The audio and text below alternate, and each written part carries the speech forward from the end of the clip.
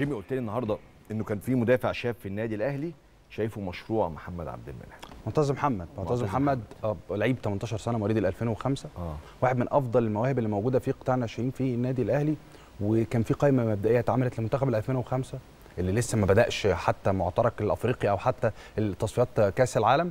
موجود من ضمنها معتز محمد واحد من اللعيبة اللي بص عليهم كولر واختاره بنفسه إنه يكون موجود ودي مش المرة الأولى. يمكن هو اتصعد قبل كده قبل مباراة الرجاء. كان في نقص في صفوف المدافعين في الفريق. بص عليه مارسيل كولر اختار إن هو يكون موجود واتدرب مع الفريق خلال الفترة دي. معتز محمد كمان يا كريم خليني أقول لك يعني نعرض اللقطتين اللي هو واحد من اللعيبة. المميزة وطالع نفس الطلعة حتى زمايله في نفس الفريق.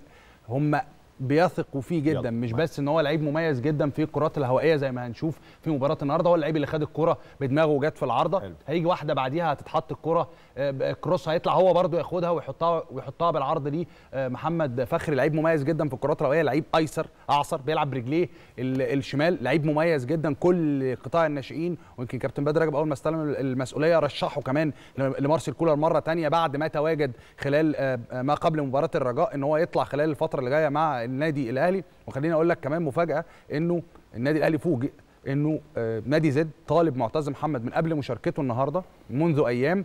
طلب آه، معتز محمد انه ينتقل إليه على سبيل الإعارة رغم إنه لعيب لسه تامم ال 18 سنة ورغم إنه لعيب ما لعبش مع الفريق الأول للنادي الأهلي لما تم طل- طلبه من نادي زد ولا مباراة. طلبوا نادي زد كابتن وليد صلاح الدين تواصل مع المسؤولين في النادي الأهلي للحصول على خدمات معتز محمد على سبيل الاعاره الموسم اللي جاي. مارسيل كولر قال لهم هبص عليه تاني. أنا محتاج لسه مدافع كمان في الفريق. وارد جدا يكون معتز وارد جدا إنه يطلع إعارة. الراجل أشركه النهارده علشان يبص عليه في الملعب مش بس في التمرين. فسر مشاركته مش بس النقص اللي موجود في خط دفاع الأهلي النهارده بسبب راحة ياسر إبراهيم ومحمد عبد المنعم وعدم عودة محمود متولي. لا كمان الراجل كان عايز يبص عليه في الملعب عشان يحسم الأمر وياخد القرار. هل يديله سنة بره النادي الاهلي اعاره وهو لسه 18 سنة ويلعب مع زد اللي بيكون فريق كويس جدا الموسم الحالي ولا يكمل معاه الموسم اللي جاي؟